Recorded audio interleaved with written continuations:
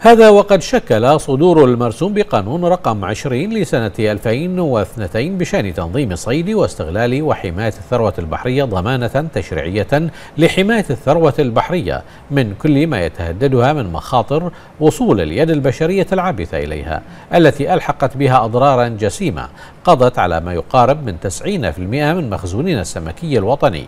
وذلك حسب ما أثبتته دراسة رسمية تم الكشف عن نتائجها مؤخرا. وللحديث أكثر عن هذا الموضوع معنا على الهاتف المستشار القانوني الدكتور عبد الجبار الطيب لنلقي الضوء على هذا المرسوم بشأن تنظيم صيد واستغلال وحماية الثروة البحرية. دكتور مساء الخير وبداية من وجهة نظر قانونية كيف يمكن توظيف أحكام المرسوم بقانون رقم 20 لسنة 2002 لضمان المزيد من الحماية للثروة البحرية والتي تعد أحد أهم الموارد الغذائية في مملكة البحرين؟ مساء النور. آه، طبعا فيما يتعلق بالمرسوم بقانون رقم 20 سنة 2002 هذا المرسوم تضمن الكثير من من التنظيم القانوني آه، للمسائل المتعلقة بحماية الثروة البحرية حيث تضمنت المواد آه، تنظيما دقيقا بحيث يمنع ويحظر الصيد الجائر واستخدام الشباك أو الآلات غير المرخص بها وتحديدا المواد الثامنة عشرة حيث لم تجز التخلص من المخلفات المختبرات في البحار والمادة التاسعة عشرة التي تحدثت عن عدم جواز آه، صيد اليرقات أو صغار الكائنات البحرية آه، على امتداد الشواطئ أو في مياه الصيد.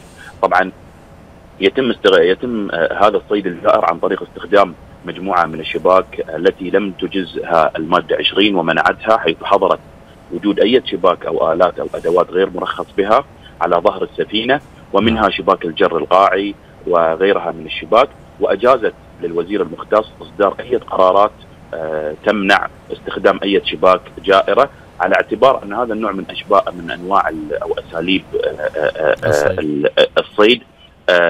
كالكراف وغيره تؤدي إلى المساس بالثروة البحرية وأيضا وأيضا تؤدي إلى المساس بالبيئه البحرية. نعم. طبعا عندما نتكلم على موضوع الثروة البحرية لابد أيضا أن نتكلم على موضوع البيئة.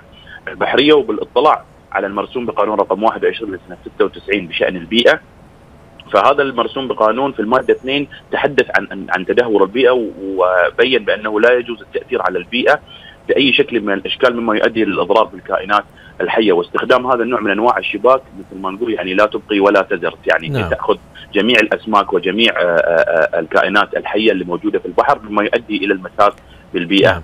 البحرية. طيب دكتور يعني من من يعني من وجهة نظرك يعني ما هي أوجه المرونة التي يتصف بها هذا المرسوم بقانون يعني على نحو يجعل قادر على مواكبة المتغيرات؟ طبعا دائما إحنا نقول إن أدوات الجريمة والمخالفة دائما تسبق أدوات العدالة والقانون وبالتالي يجب أن نطور أدوات العدالة والقانون لنردع المخالفات والجرائم. وبالتالي المادة 36 من المرسوم بقانون أعطت ومنحت الوزير صلاحيات آه، كاملة بأن يصدر القرارات التي يمكن عن طريقها حماية آه، حماية الثروة.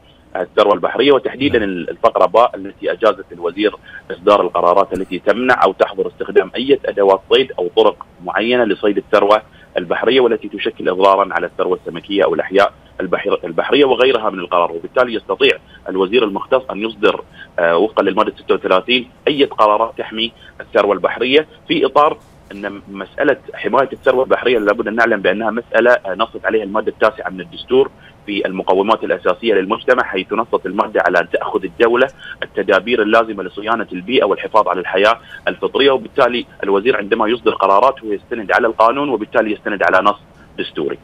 نعم المستشار القانوني الدكتور عبد الجبار الطيب شكرا جزيلا لك.